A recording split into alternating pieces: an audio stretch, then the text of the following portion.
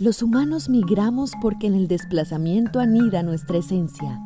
Las palabras han sido siempre nuestro lugar de encuentro. Y este año también lo serán. Nos reuniremos con esos amigos que, aún estando lejos, son parte de esta misma historia. En la decimocuarta fiesta del libro y la cultura seremos nómadas que reunirán lenguajes, miradas, voces para narrar las historias que cada uno ha recolectado en su viaje personal. Octubre 2 al 11, obra invitada de la literatura universal El libro de la selva. Participa ingresando a www.fiestadelibroylacultura.com.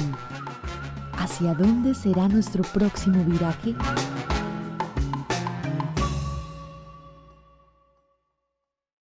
Hola, muy buenas noches. Iniciamos nuestra diáspora por las letras, la más afortunada metáfora para cualquier viaje. Un curioso vehículo que nos lleva por encima del tiempo y la distancia y que en ocasiones nos brinda la sensación de que la aventura no ha terminado. La Universidad de Antioquia, un aliado estratégico de la Alcaldía de Medellín y la Biblioteca Pública Piloto, les da la bienvenida a la decimacuarta fiesta del libro y la cultura de Medellín, a la ciudad de los libros, un encuentro ciudadano en el que celebramos la palabra, que este año tiene como tema de conversación las diásporas. Gracias por permitirnos llegar a sus hogares y celebrar desde allí el amor que compartimos por los libros y la cultura. Es momento de abrazarnos en la distancia, a través de lo que tejen las palabras entre nosotros. La actividad que tendremos a continuación hace parte de la jornada académica y cultural que hemos preparado desde la Universidad de Antioquia para vincularnos como comunidad universitaria a este evento de ciudad. En esta oportunidad tendremos la charla Mitos alrededor de las prácticas de cuidado y nos acompaña el profesor Mario Cano. Bienvenidos.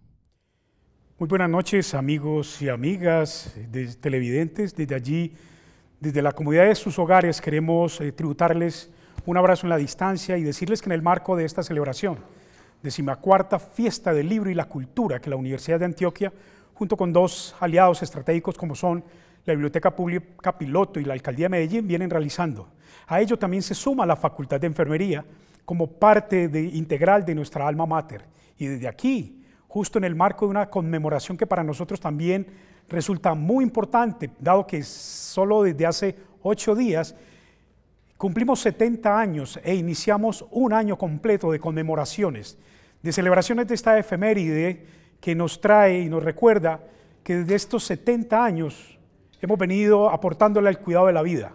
Hemos venido formando profesionales íntegros comprometidos con la promoción de la vida, de la salud y la prevención de la enfermedad. 70 años en los cuales más de 8.000 profesionales han estado al servicio de esta tarea que nos llena de alegría. 70 años de nuestra facultad de enfermería, toda una vida cuidando vidas. Y lo cuidamos desde muchos ángulos, desde muchos saberes.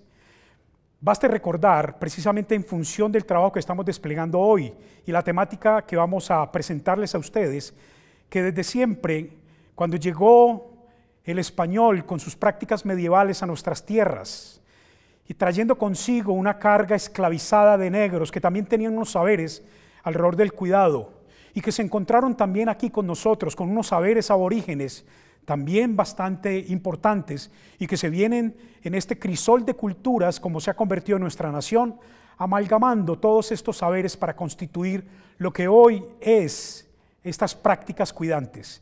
Así que para poder desarrollar todas estas eh, tradiciones que se han evidenciado en el chamanismo, en el curanderismo, en la medicina occidental biomédica, la herbolaria con toda su farmacopea, y más recientemente la tradición china, la hindú, la medicina ayurvédica, el yoga, la acupuntura, todos esos saberes están aquí entre nosotros. Gravitan cuando alguna situación, alguna circunstancia de salud se ve afectada y acudimos a ella. Todos ellos son saberes válidos, todos son saberes que como nuestros expertos a continuación van a desarrollar, sabremos que en ello también encontramos una realidad.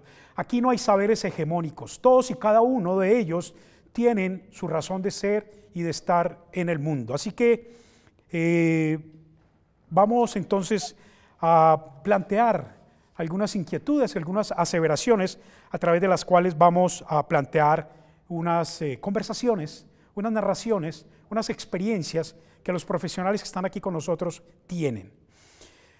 El tema eh, no solamente pasa por el componente físico, biomédico o de salud, también hay otros elementos que serán tenidos en cuenta.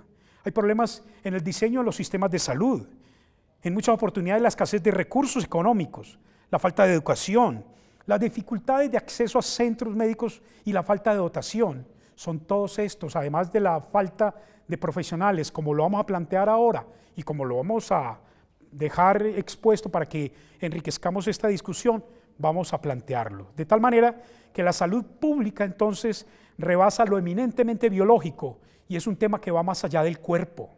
Está íntimamente ligado a las políticas, a los entornos, a los contextos, a la convivencia, a la economía, a la espiritualidad y por supuesto a los saberes. De esos saberes vamos a hablar a continuación. Y para ello tenemos a tres invitados especiales de la Facultad de Enfermería. Ellos nos acompañan, unas personas que son expertas en cada uno de sus diferentes áreas de conocimiento.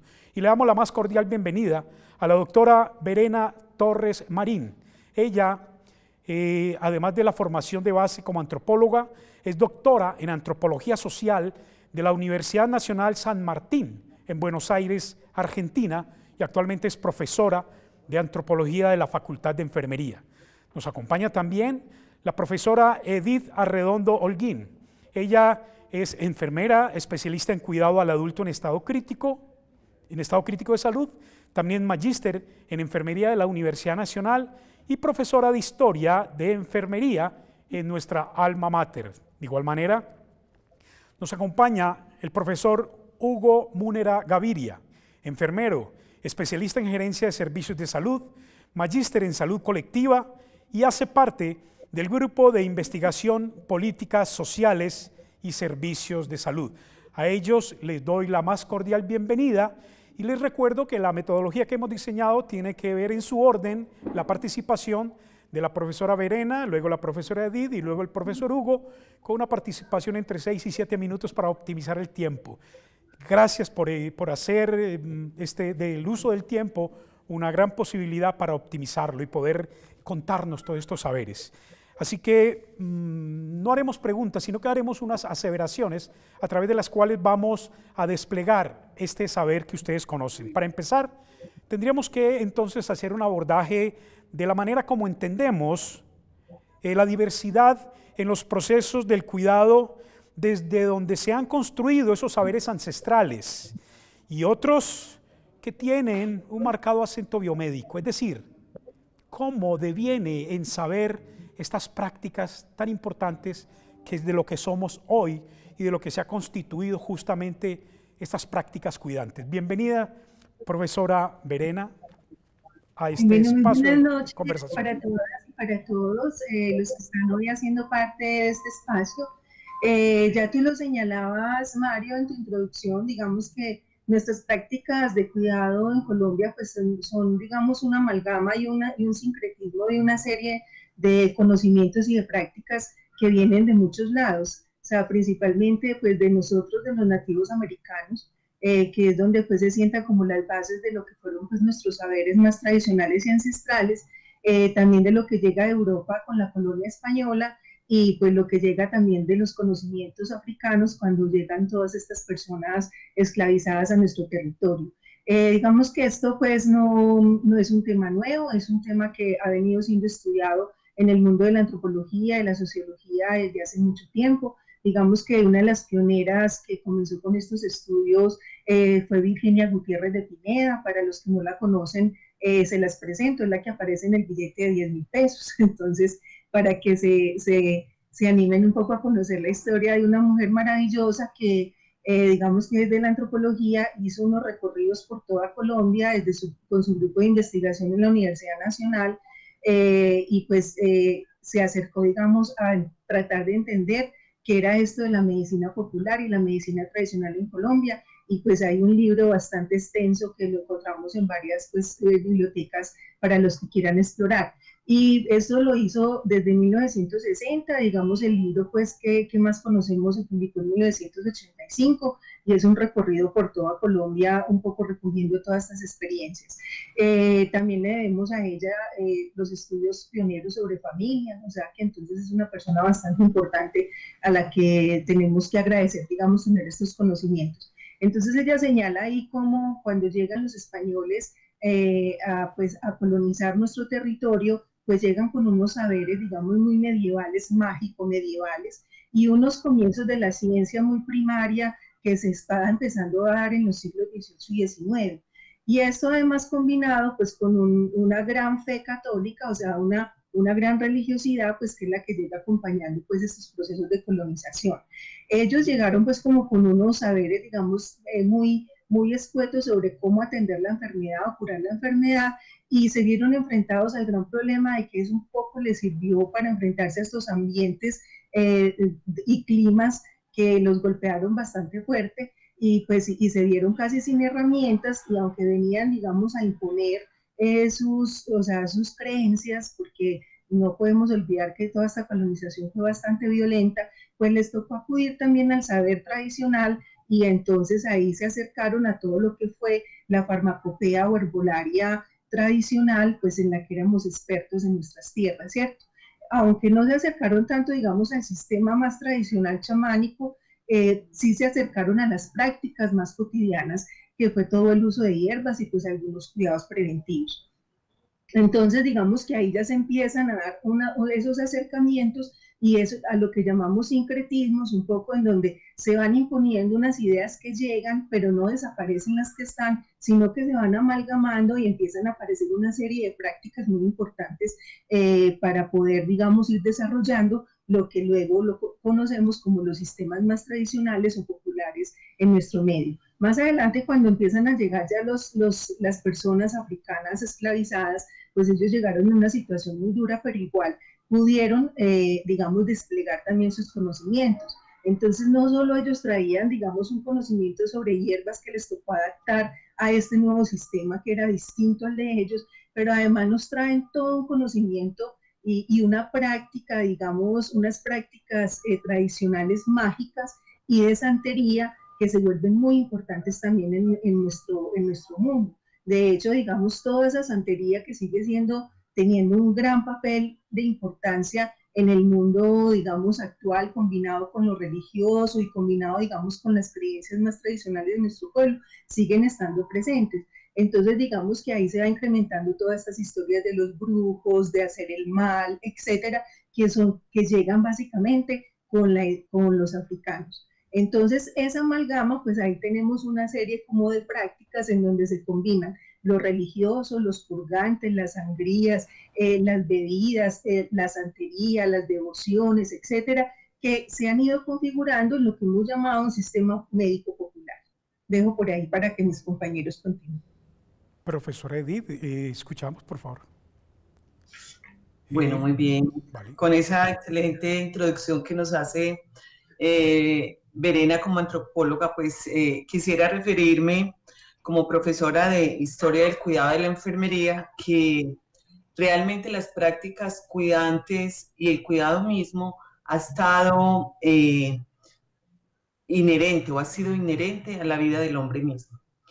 Y ha sido inherente por varias intencionalidades. La primera intencionalidad, si nos remontamos a, a épocas muy, muy antiguas de la humanidad, pues realmente el cuidado era necesario para la sobrevivencia del hombre.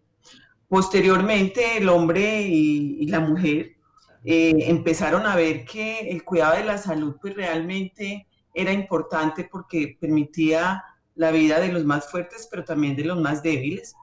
Y a partir de eso se empieza a cultivar una serie de aprendizajes y de experiencias en la medida en que se le daba al proceso salud y enfermedad unas interpretaciones primero para la sobrevivencia, después eh, el hombre empezó desde el animismo a mirar que en la naturaleza, tanto los animales como la naturaleza misma, eh, proporcionaban unas herramientas para el cuidado de la salud.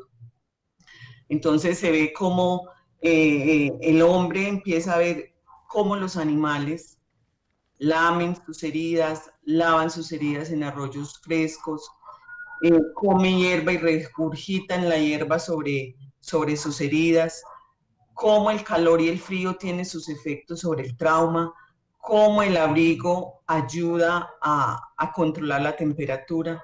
Y así, a partir de la observación de la naturaleza, el hombre empieza a ver que el cuidado tiene efectos benéficos. Igual la mujer en el cuidado de su hijo, a partir de la maternidad, empieza a ver cómo la nutrición, el cuidado de la piel, el cariño y otros asuntos, pues hacen que esa persona tan lábil como es un bebé o como es un enfermo en la comunidad para ese entonces, empieza a recobrar su salud.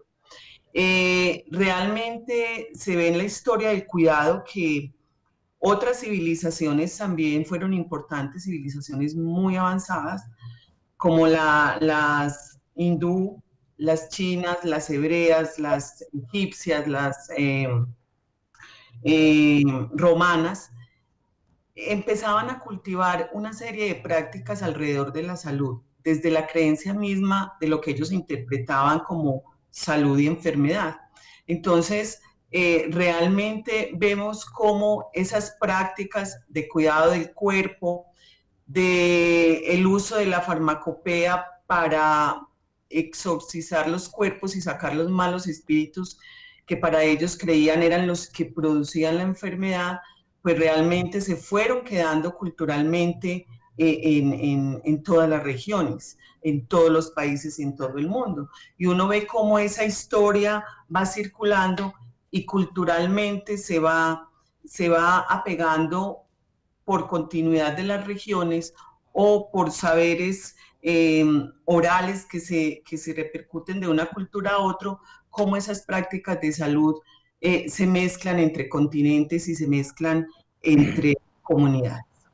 Entonces realmente vemos que hoy esas prácticas, tanto de la prehistoria como de las civilizaciones antiguas y las nuevas civilizaciones, eh, repercuten hoy en nuestro sistema de salud y quedan aún en las culturas de nuestros pueblos. Bueno, gracias, eh, profesora Edith y profesora Verena. Eh, bueno, es importante saber también que eh, además de esos conocimientos ancestrales, es importante saber cómo los sistemas de salud y otros tipos de conocimiento influyen en esas prácticas cuidantes. En la década de los años 60 había cinco formas de atención, por lo menos aquí en Colombia. Primero, los servicios para los ricos o pudientes. Segundo, el seguro obligatorio que atendía a los trabajadores. Tercero, la atención a los pobres mediante estrategias basadas en la caridad. Cuarto, la atención de, la salud pública a cargo del Estado y centrada en la enfermedad y las epidemias. Quinto, todas las prácticas médicas populares no científicas, a las cuales han hecho referencia mis compañeras, ubicadas obviamente en un lugar para el momento, en un lugar marginal y siempre subvaloradas por los servicios legalmente constituidos. Los problemas más marcados para la época en ese sistema de salud, en esa forma de atención en salud, era la poca cobertura, la poca infraestructura, el fraccionamiento en la atención en salud, la inequidad y las dificultades para el acceso. El uso de las prácticas médicas populares e indígenas eran eh, bastante utilizadas para la época por una razón fundamental, por la desconfianza cultural hacia la medicina occidental. Para la década del 70 se crea en Colombia el Sistema Nacional de Salud, en el cual los recursos del Estado se transfieren directamente a la red pública de hospitales. Y esta, y esta ley se origina con el fin de resolver principalmente estos problemas ya mencionados, de equidad, fraccionamiento en la atención en salud, problemas de acceso y cobertura. Entre tanto, esas acciones de lo que es la promoción y la prevención de la enfermedad se articularon a la red pública de centros y hospitales. Pero para la década del 70 surgen eh, otros movimientos u otros tipos de conocimientos, por decirlo de alguna manera, con fuerza.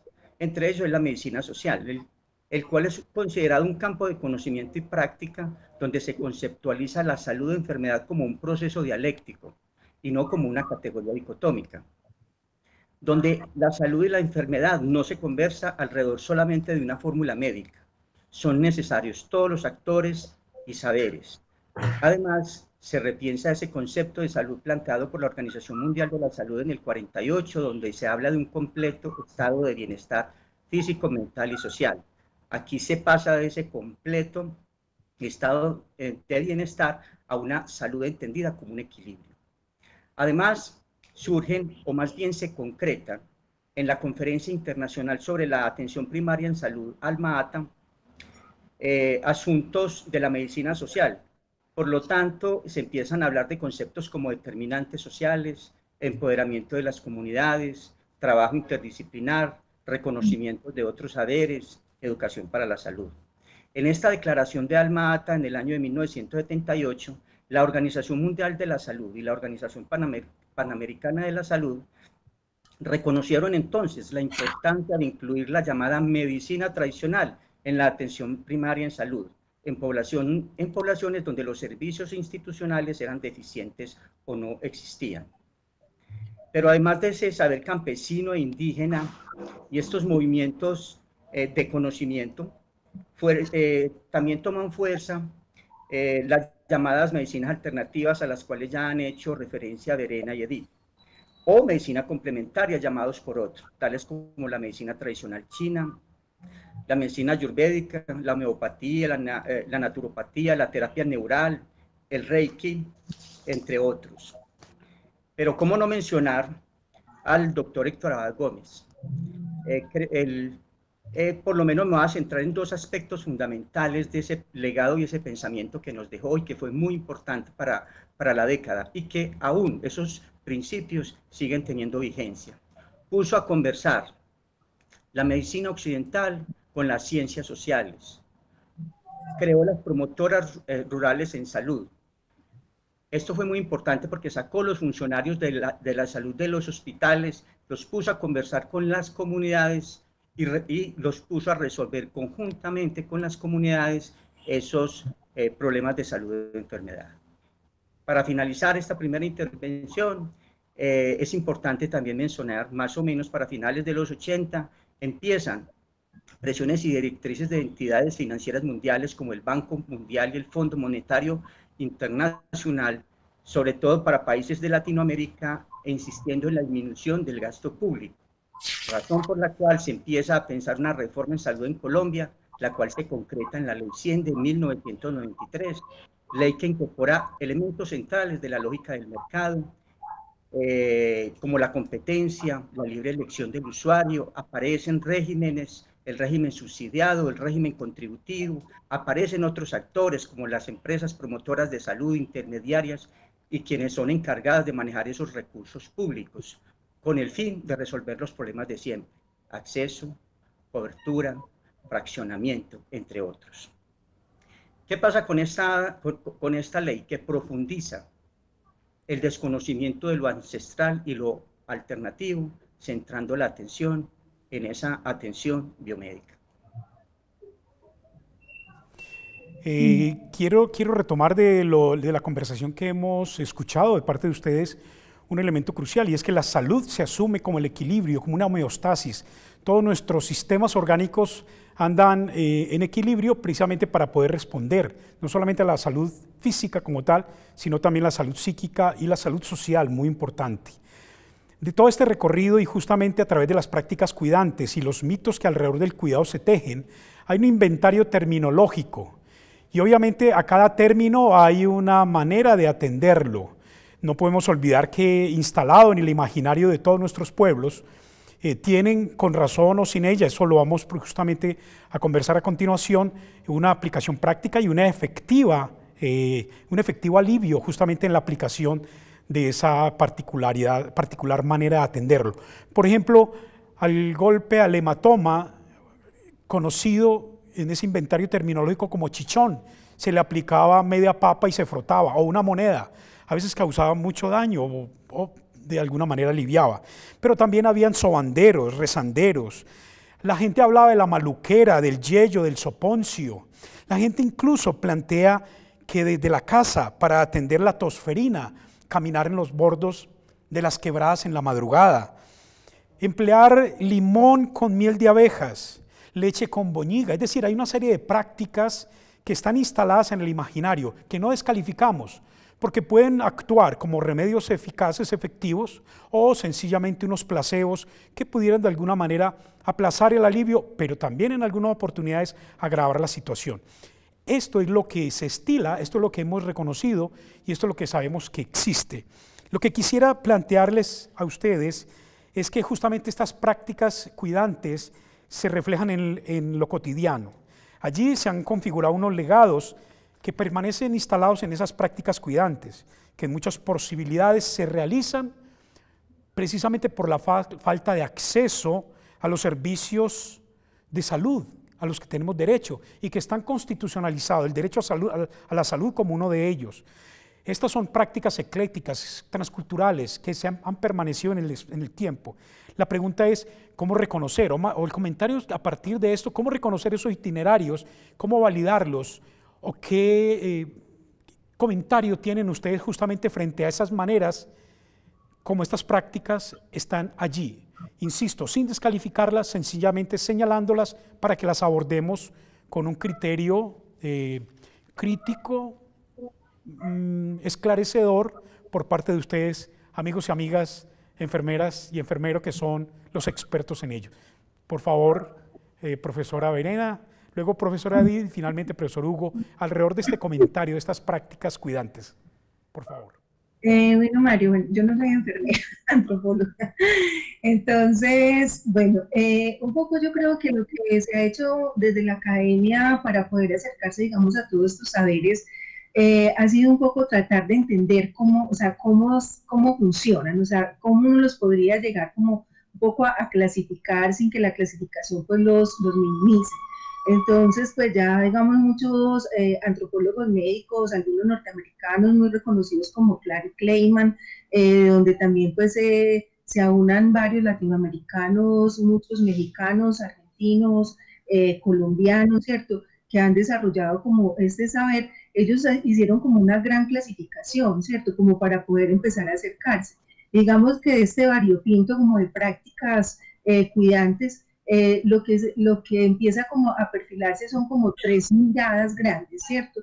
Una de ellas, pues que ya la han venido mencionando mis compañeros, ¿cierto? Un poco mm, eh, Hugo también va perfilando pues lo que conocemos como sistema de salud, pero básicamente estos antropólogos lo que hacen es hablar de los sistemas médicos. ¿cierto? Entonces en esos sistemas médicos ellos hablan de que uno puede visualizar como tres grandes en donde uno puede empezar como a generar unas características. O sea, cada uno, cada sistema médico por sí mismo tiene, o sea, tiene unas cosas que se pueden reconocer inmediatamente, se empiezan a estudiar. Uno básico es entender que tienen una filosofía o digamos un, conocimiento acerca de lo que es la salud, la enfermedad y cómo, cómo acercarse a la curación. Lo otro es que tienen, digamos, unas tecnologías propias de ese saber y de ese conocimiento. Y lo otro es que tienen practicantes, ¿cierto? Entonces esos practicantes pues son los que desarrollan, adquieren el conocimiento y pues son los, los que mm, de alguna forma practican esa medicina. Entonces lo que hacen es clasificar. Uno es en el sistema médico profesional, que es el que más reconocemos porque digamos es el oficial, es el que está regulado por norma, es el que accedemos a él a través de las universidades que imparten los programas de ese sistema médico profesional. Digamos que allá lo había mencionado Hugo, pues ahí está desplegado, digamos, todo el sistema científico y todo lo que hemos llamado, pues la base del conocimiento biomédico, ¿cierto? Un, poco ligado pues a eso biológico y, y lo que ha sido la historia del desarrollo médico. Luego viene, digamos, el sistema folclórico o, digamos tradicional, que es donde se juntan un montón de saberes que también, digamos, tienen eso que yo les digo, toda una filosofía, unas técnicas y unos practicantes, y ahí entonces podemos encontrar desde la medicina chamánica, que es la que se ha practicado en muchos lugares del mundo, entre ellos Colombia, ¿cierto? Aquí conocemos los taitas, en el Cauca, en los Jaibaná, en Vera, etcétera, ¿cierto? Que son médicos que se han eh, formado toda la vida en la práctica chamánica, que es esa combinación, digamos, de la herbolaria, del conocimiento espiritual y del conocimiento corporal para poder generar eh, o, intervenir los padecimientos en sus comunidades y en las personas, pero ahí también vienen también todos estos saberes, por ejemplo, tradicionales de, de otros países que han llegado a Colombia, como ya lo mencionaba Hugo, que son la medicina china, la medicina ayurvédica, la medicina homeopática que viene de Alemania y la medicina naturista, que digamos es lo más científico de toda esta arbolaria de farmacopea tradicional que, que estaba ya instalada como en nuestro mundo. Entonces, eso, digamos, también es unos sistemas, digamos, muy respetables para conocer. Y luego viene el variopinto de lo que conocemos como el sistema médico popular. Y ahí sí encontramos, digamos, una serie de todas estas cosas que tú venías mencionando, Mario, acerca de esas cosas cotidianas que hacemos para eh, aliviar algunos padecimientos. Entonces ahí encontramos desde la autoatención que hacemos por lo que hemos aprendido toda la vida, entonces donde nos sentimos con un poco de resfriado y nos tomamos el agua panela con limón y un dones, ¿cierto? Entonces, digamos que ahí viene esa autoatención. Pero viene, digamos, otra, digamos, más especializada, que ya es la medicina familiar, o sea, o la medicina casera, en donde ya hay un saber acumulado, desde que nos hablaba Edith también en términos de, de lo cuidante, de lo que ha sido la familia, las mujeres, las abuelas, entonces donde está la combinación de hierbas, el frío y el calor, el resguardarse el sereno, el tomar algunas medidas de prevención para no enfermar, etcétera. Entonces es un despliegue de lo que llamamos medicina casera y medicina familiar. Pero viene ya también toda la otra, que es lo que conocemos como el curanderismo, y entonces es donde vamos al sobandero, al huesero, al que cura con el rezo, al que estanca la sangre con, con oraciones, al que curaba la picadura de culebra con hierbas, ¿cierto? Entonces ahí todo eso que hemos llamado curanderismo, en donde también hay unos especialistas, pero digamos que son unos especialistas que combinan unos saberes bastante ancestrales sin ser considerados chamanes, ¿cierto? Sino curanderos, o sea, y donde aplican, digamos, una combinación de lo que es ese sistema, digamos, tradicional, el sistema profesional y lo propio de su curandería. Y ahí encontramos una cosa muy importante en el medio de esa curandería y es todo lo que son las devociones, o sea, lo que hemos llamado lo mágico religioso. Entonces es, por ejemplo, hacer las mandas a los santos, ¿cierto? Irse arrodillado hasta la Virgen de Girardota, o sea, como todas estas prácticas que son de alguna manera lo que, lo que permite la gente cuando dice, líbrame de este mal y yo luego te pago con alguna manda, ¿cierto? Entonces es todas estas prácticas que siguen siendo muy vigentes y esas devociones santeras que se hacen, digamos, a los santos cristianos, pero que también hay santos de la santería, digamos, popular, como yo les decía, muy africana, ¿cierto? En donde también hay unas prácticas y, digamos, unos rituales que se han derivado mucho en lo que conocemos también como parte como de la brujería, eh, de hacer mal o de amarrar a la gente, etcétera, ¿cierto? O sea, para entonces poder de alguna manera, eh, digamos, poder hacer unas lecturas y unos acercamientos y poder generar, digamos, esos diálogos interculturales tan necesarios, pues, en el mundo del acercamiento de, del mundo de la salud. Eh, le doy el paso a él.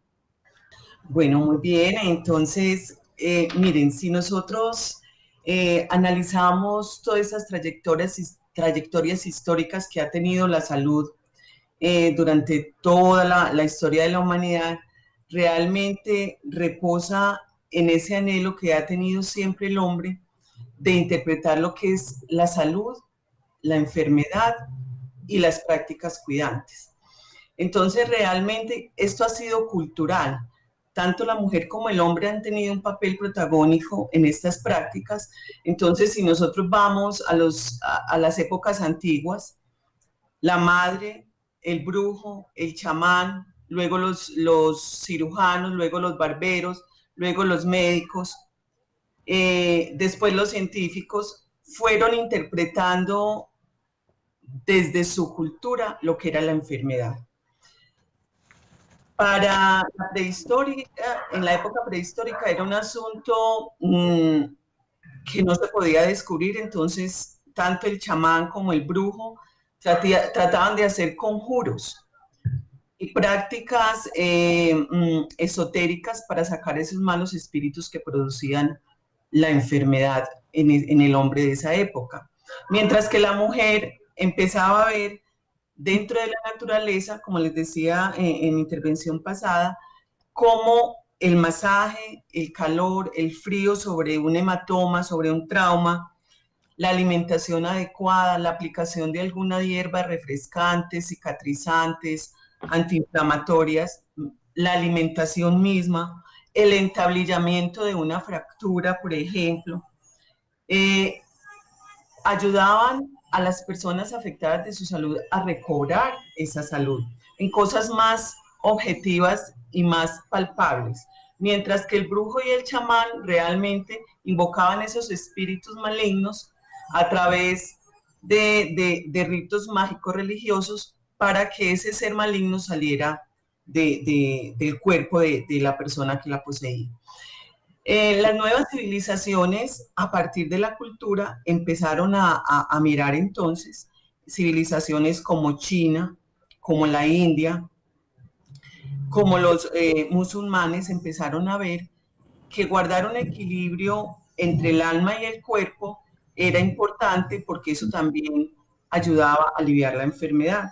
Entonces, se vinculan a esas prácticas de farmacopea y mágico-religiosas otras eh, prácticas culturales alternativas como la acupuntura, la reflexoterapia, el masaje, que digamos ayudaba a centrar al ser humano en su conciencia y armonizar toda la energía que eh, estaba en desequilibrio en su cuerpo. Eh, hay dos libros muy especiales que nos hablan de, estos asuntos de una manera muy, muy, agradable, muy histórica, que son el libro de Promover la Vida de, Collier y el cuidado esencial de Leonardo Boff. Leonardo Boff eh, en la época ya moderna y contemporánea plantea que el hombre no solamente debe cuidarse a sí mismo, ¿cierto? Sino que debe cuidar el entorno. Entonces plantea que un universo armónico, unos recursos naturales armónicos, un mundo armónico, eh, puede alcanzar, puede lograr o contribuir a que nosotros también tengamos eh, la salud. En, el siglo de la, eh, entre el siglo V y el siglo XIX, en la medida en que culturalmente y políticamente el hombre no había podido resolver de manera adecuada los problemas de salud que tenía para la época, aparece, como decía Verena, un movimiento mágico religioso en manos de la iglesia, donde política y espiritualmente, pues ellos empezaron a hacer unas prácticas y se incorpora un nuevo cuidado que es el cuidado del alma. El cuidado del alma a partir de la reflexión, a partir de la moralidad para hacer el bien. Y esto tiene relación con las antiguas civilizaciones en el sentido de que eh, eh, culturalmente se ha interpretado, se ha asociado la enfermedad a trastornos en el comportamiento, trastornos contra la moral, eh, acciones asociadas al pecado y al abuso del cuerpo, que son los que son los hechos que producen esta enfermedad. Entonces, realmente vemos que estos itinerarios que hoy todavía vemos en nuestras épocas actuales eh, han tenido su asiento históricamente. Y vemos que en la prehistoria, en la época de, del oscurantismo en la Edad Media, en la etapa moderna y en la Edad contemporánea, pues realmente tratar de entender la salud, la enfermedad y el cuidado a partir de lo que culturalmente, por eso Hugo nos hablaba de todos esos movimientos sociales que surgieron en los años 70, a partir de, la etapa moderna, cuando se descubre que la enfermedad no era solamente eh, producida por un daño eh, en contra de la moral, sino que había entornos y, recursos naturales alterados, que existía la pobreza, que existían los microorganismos. Entonces, eh, eh, digamos que ahí empieza eh, la medicina social a decir, tenemos que recuperar los hospitales, tenemos que recuperar las sociedades, los entornos, el agua, la higiene en las comunidades, los accesos a los servicios de salud, porque para la época solo las grandes eh, burguesías tenían acceso a los, a los servicios de salud. Entonces, en todo lo que Hugo plantea y Verena plantea, pues yo digo que históricamente tiene su asiento en esas interpretaciones culturales que las distintas civilizaciones de nuestro mundo y de otros, pues eh, han venido dándole al proceso salud y enfermedad y a las tecnologías y a los recursos que tienen para afrontar esa salud y esa enfermedad.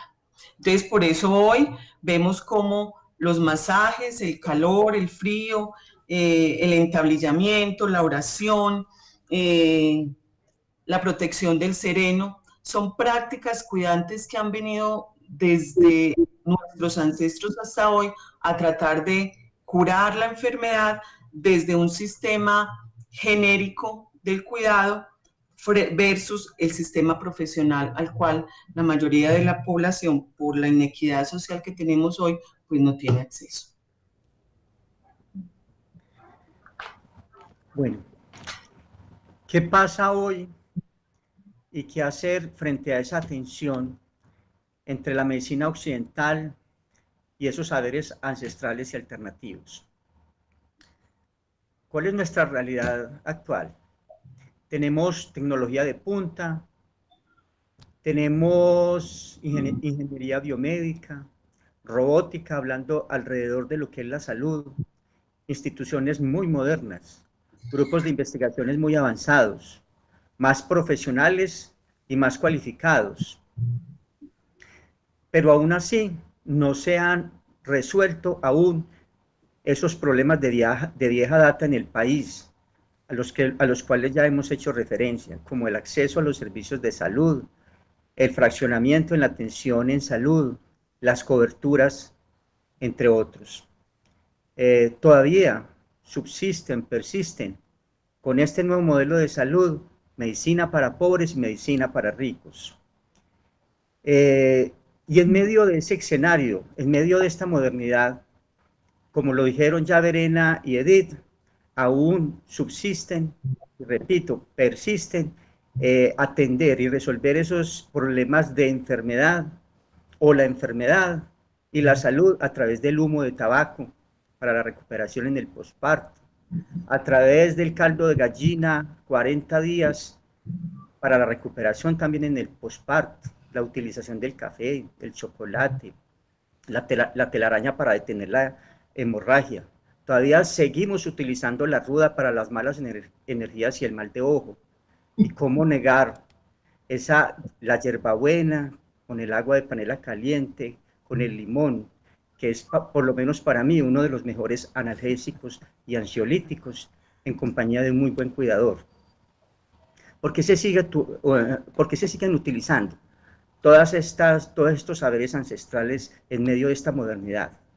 En palabras del profesor Mauricio Múnera, eh, un investigador de, sobre conocimientos ancestrales de la Universidad Nacional, él plantea, eh, entre otras cosas, que es por su bajo costo, por la eficacia que ha demostrado a través de la historia, por los escasos efectos adversos en comparación con los medicamentos que hay actualmente, el enfoque holístico integral de la persona que es cada vez más difícil encontrar en la medicina occidental. Es un encuentro terapéutico basado en el principio de la confianza. Una, esta es una medicina o es un conocimiento dinámico que no se basa en, en principios activos, sino en el fruto de experiencias vividas y permite esa conexión del sujeto con el territorio, con la energía, con el cosmos. Y hay un elemento bien importante en esa relación entre quien cuida y quien es cuidado en este tipo de saberes, y es el principio de la confianza. La realidad es que esos saberes están mezclados, o mejor, o mejor coexisten, no solo los saberes, sino los actores. ¿Qué hacer? Conversar. La Organización Mundial de la Salud ya está haciendo por lo menos esfuerzos, lo ha entendido, y ya habla de medicinas integrativas, como la es aquella medicina, o es más bien la integración de la medicina alternativa y complementaria a la medicina convencional, dicen ellos. En Colombia también, también hay algunos esfuerzos. En la Ley de Talento Humano en Salud, en la 1164 del 2007, por lo menos ya se define que se deben tener algunas competencias para los profesionales de, de la salud que vayan a ejercer eh, sobre todo este tipo de medicinas alternativas. En la resolución 1441 del 2003 ya se reconocen algunas de esas medicinas alternativas desde la oficialidad. Pero yo quiero terminar con una lectura comentada de la doctora Miriam Bastidas. Ella es médica, ella es pediatra, egresada de nuestra maestría en salud colectiva de la Facultad de Enfermería quien escribió un artículo que se llama El diálogo de saberes como posición humana frente al otro, referente ontológico y pedagógico en la educación para la salud. Es un párrafo para mí bellísimo que de alguna manera nos plantea una alternativa bien importante para esta atención, y es el diálogo de saberes a lo cual ya hemos hecho referencia. Ella plantea lo siguiente, el diálogo de saberes, más que una propuesta pedagógica, porque siempre se ha mirado como una propuesta pedagógica, es una posición ontológica. Desde Heidegger es una reflexión sobre el ser, fundamentada en el respeto y en la práctica de relaciones horizontales y democráticas. O sea, nada de posiciones dominantes. Parte de reconocer al otro como sujeto responsable y actor de su propio destino. Y a los humanos como seres inconclusos, que se construyen en su relación con el otro y con el mundo, el diálogo de saberes es un proceso comunicativo en el cual se ponen en interacción dos lógicas diferentes, la del conocimiento científico y la del saber cotidiano, a lo cual estamos haciendo referencia, con una clara intención de comprenderse mutuamente. Implica el reconocimiento del otro como sujeto diferente, con conocimientos y posiciones diversas. Ese respeto por la diferencia también planteado por Stanislao Zuleta.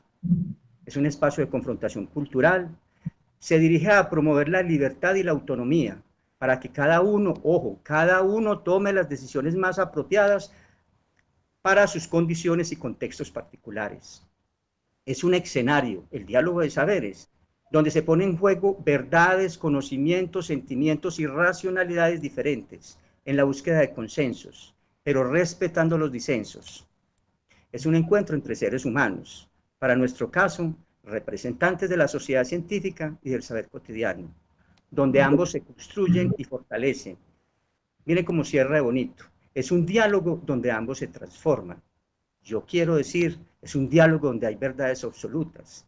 Y quiero terminar con lo que inició el profesor, el profesor Mario, donde no hay saberes hegemónicos. A través de todo este tiempo que hemos estado conversando, y aún tenemos algunos minutos para seguir haciéndolo, eh, hemos hecho un recorrido que no solamente a través de la historia, sino también a través de una serie de acciones y prácticas cuidantes que tienen, como lo dice la profesora Verena, variopinto origen.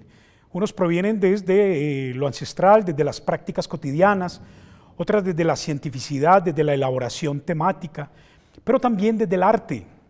Y no podemos olvidar que artistas eh, de talla mundial como Celia Cruz, por ejemplo, cuando con esta inmortal sonora matancera canta una canción muy bella que se llama El Yerberito Moderno, donde hace alusión justamente a todas estas prácticas, a esa herbolaria, esa farmacopea que, que se ha referido. También lo hace nuestro Juanes, cuando habla del yerbatero recientemente con uno de esos temas musicales, pero también lo ha hecho a través de otras eh, eh, producciones artísticas, uno de nuestros eh, más representantes folclorólogos, folcloristas y poetas tradicionales y costumbristas, como lo es Mario Tierra.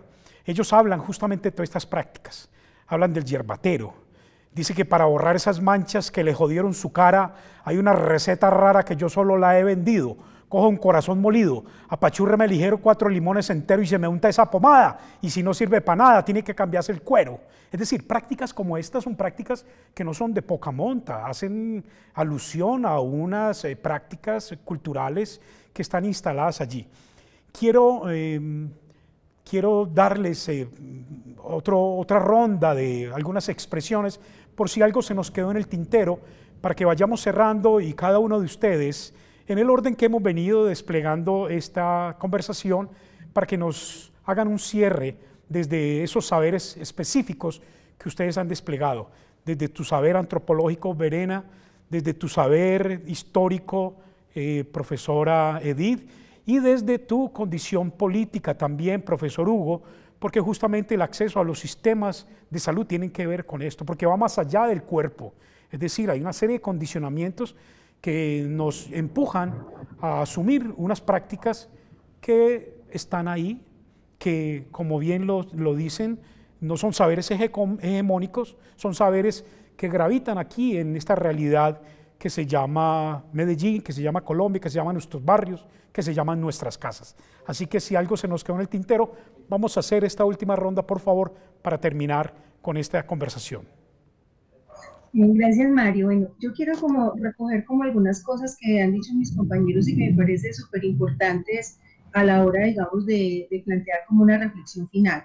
Digamos que pues yo les hablé de los sistemas médicos y de cómo se han clasificado y de cómo pues ahí se viven, digamos, esas diferentes prácticas de cuidar eh, la salud, o sea, de cuidar la vida, que, básicamente eso se trata, por eso el libro de Poliera a mí también me parece tan lindo en términos de que eh, la práctica cuidante es básicamente promover la vida, ¿cierto? Y yo creo que en eso se debería basar todo lo que hacemos en el ámbito de la salud. Lastimosamente, como ya lo señalaba Hugo, pues nosotros tenemos un sistema de salud que desde 1993 viró, digamos, hacia el mercado y a la demanda, a la demanda y no realmente a la ¿cierto? Y eso ha sido un gran problema, porque además, digamos, se exacerbó, digamos, la mirada hegemónica eh, del modelo biomédico y prácticamente se limitó toda la posibilidad de interacción con las comunidades. De hecho, lo que, o sea, lo que se ha vuelto casi problemático, poder salir a los barrios, a las zonas rurales, etcétera, y donde muchos de nuestros estudiantes a veces no tienen esa posibilidad, digamos, de acercarse, digamos, a, otras, a otros conocimientos, sino que básicamente quedan eh, circunscritos al modelo biomédico. Y eso a veces cierra mucho la posibilidad para precisamente el diálogo. Y ahí es donde empiezan unas relaciones bastante problemáticas, porque no hay, no hay esa posibilidad de la negociación, sino de la imposición. Entonces, un poco lo que hacemos eh, desde la Facultad de Enfermería y bueno, y cuando también pues pudimos dar estos cursos en, la Facultad de Medicina, es poder generar en los estudiantes del área de la salud eh, esa conciencia que, que, muchos autores del, del, mundo de la enfermería le llaman esa conciencia cultural, ¿cierto? Ahí estamos hablando de, de modelos que vienen desde, digamos, una o sea, una pionera en eso que fue eh, la profesora Madeline Leninger, que empezó a, a, invitarnos a mirar en la práctica cuidante, la posibilidad de leer otras culturas y poder negociar con ellas. Y en esa medida entonces nos acerca a generar ese deseo y ese conocimiento cultural que nos permita hacer las negociaciones. Pero para hacer esas negociaciones y esas interacciones, también tenemos que conocer cuáles son los itinerarios y las trayectorias que la gente tiene en la búsqueda de curar la salud. Entonces, eso es bien importante, o sea, no podemos simplemente quedarnos con el saber y ver cómo lo, imponemos o cómo logramos que el otro nos, haga caso en lo que queremos, sino que también hay que disponerse al conocimiento, al aprender. Y en esa medida, entonces, una de las primeras cosas que tenemos que hacer cuando nos acercamos a una persona, a una familia que está pasando por, por la trayectoria de un padecimiento, es que nos cuenten cuál ha sido su itinerario para poder curar ese, ese, ese padecer. Y en esa medida es que podemos encontrar las claves de lo que es valioso y de lo que quizá haya que corregir a través de la negociación. Entonces no se trata de una vez negar de un todo y por todo el saber del otro, sino precisamente de poder conocerlo para poder entrar en ese diálogo de saberes que ya nos mencionaba el profesor Hugo, en ese diálogo intercultural que a veces se vuelve tan complejo cuando se trata de imponer un saber. Entonces creo que esa es como la invitación, es a que abramos la mente, abramos los ojos, abramos el corazón, abramos el oído y, habla, y abramos esa posibilidad de ser, digamos, unos conciliadores y unos negociantes para poder generar bienestar en la población. Bueno, eh, yo quisiera hacer un cierre frente a esta participación e invitación tan interesante que nos hicieron hoy, y es que definitivamente el acceso a los servicios de salud y a la salud en sí misma históricamente ha sido un elemento muy inequitativo. Es decir, que solo los de mayor eh, privilegio social o mayor privilegio económico de poder, pues han tenido acceso a los servicios de salud. Mientras que las prácticas cuidantes han estado en manos, en muchas de las etapas históricas, en manos de los más, de los menos privilegiados. Pero digamos que ahí ha estado una riqueza de saberes muy importantes de práctica de salud que una vez los sistemas dominantes ven que estas prácticas cuidantes de verdad tienen un gran efecto sobre la salud, las vuelven a retomar. De hecho, pienso que en este momento la globalización en la etapa contemporánea ha permitido que saberes ancestrales que habían estado muy lejos de nosotros eh, en otras culturas, pues vuelvan hoy a tomar una relevancia importante como la medicina em, alternativa em, china eh, y muchas de sus prácticas cuidantes que hoy se vuelven a retomar. Algunos conceptos sobre la salud y el equilibrio entre el alma, la mente y el cuerpo que se vuelve a retomar.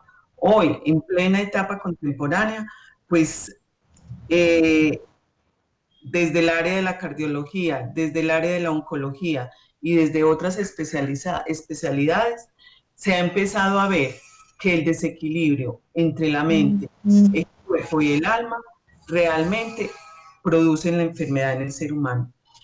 Eh, pienso como mis compañeros que interpretando hoy la enfermedad no solo desde la alteración del cuerpo, sino desde la alteración del alma, la mente y el cuerpo, requiere como sociedad volvamos a hacer una reconciliación entre el sistema profesional de atención en salud y el sistema ancestral cultural de nuestras comunidades.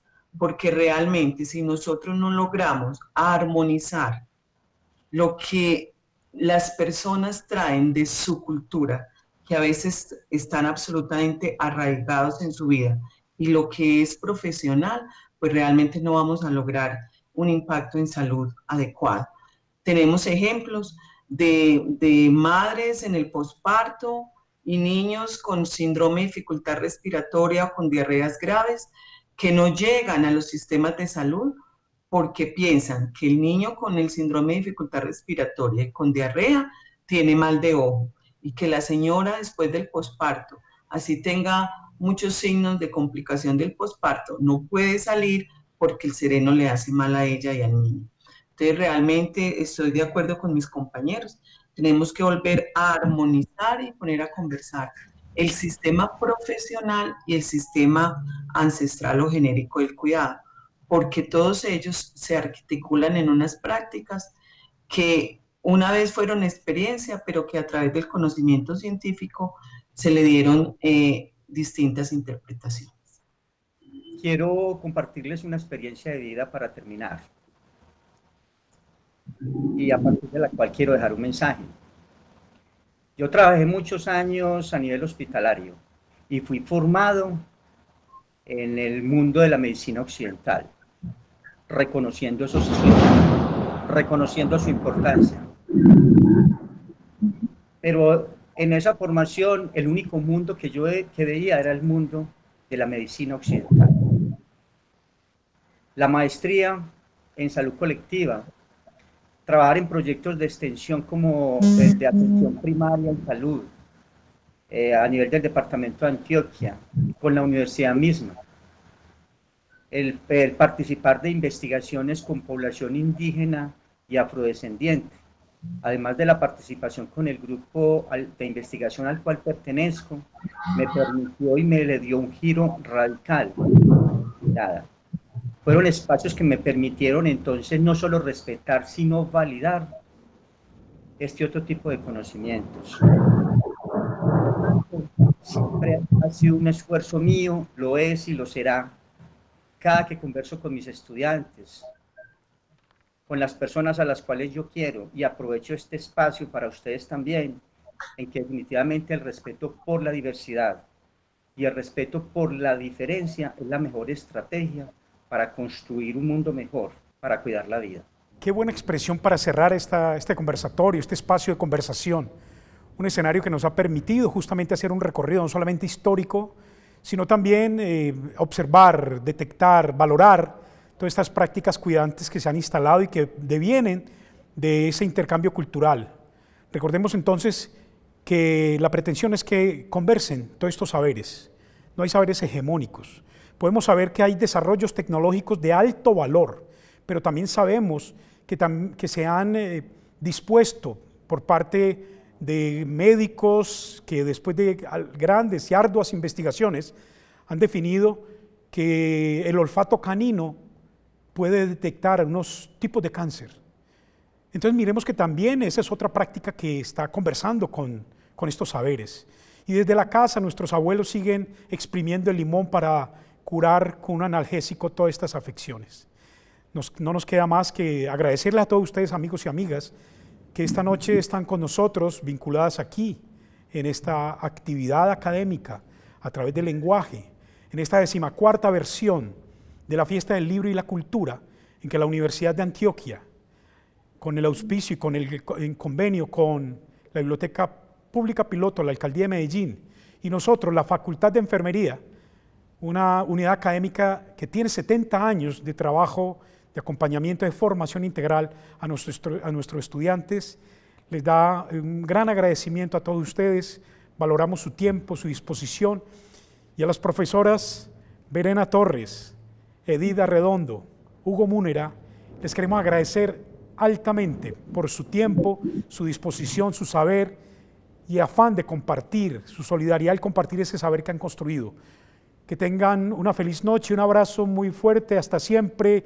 Les habló Mario Cano, muchísimas gracias, éxitos, felicidades. Agradecemos su participación desde casa. Recuerden que Fiesta del Libro y la Cultura tiene una plataforma digital en la que pueden seguir recorriendo sus espacios y conectarse con la agenda que tan especialmente la Universidad de Antioquia ha creado para, para este evento. Justamente mañana, a, mañana jueves 8 de octubre a las 10 de la mañana tendremos un foro, la edición de publicaciones en el marco de la apropiación social del conocimiento. Por favor, conéctense con nosotros a las 10 de la mañana para que nos sigan y compartan contenidos por redes usando el hashtag de Fiesta del Libro, las diásporas y el hashtag de Nos mueve la cultura. También nos pueden acompañar por Facebook y por Instagram. En Facebook nos encuentran como Universidad de Antioquia, UDA Cultura, Fiesta del Libro y la Cultura, y en Instagram como arroba UDA, arroba UDA Cultura y arroba Fiesta Libro. Esta es una oportunidad para contarle al mundo cómo vivimos la fiesta en la Casa de los Libros. Gracias por acompañarnos. Juntos estamos escribiendo una nueva página en la historia de Fiesta del Libro y la Cultura. Feliz noche.